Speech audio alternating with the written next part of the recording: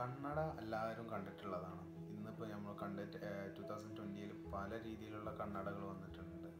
Designs ഒരുപാട് വന്നിട്ടുണ്ട് കണ്ണടയിൽ പക്ഷേ ആദ്യമായിട്ട് കണ്ണട ലോകത്ത് വന്നത് ഏകദേശം ആയിരത്തി ഇരുന്നൂറ്റി തൊണ്ണൂറിലാണ് ഇറ്റലിയിൽ കണ്ടെത്തിയിട്ടുള്ളത് എന്നാണ് ഒരു കറക്റ്റ് ഡേറ്റ് കൺഫേം അല്ല.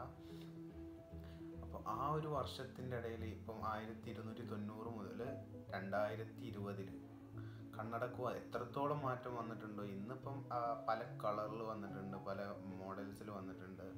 അപ്പോൾ അതിൽ വന്ന വേരിയേഷനിലെ ചേഞ്ചസ് എന്തൊക്കെയാണെന്ന് ഒന്ന് ഇന്നത്തെ വീഡിയോയിൽ കാണാം.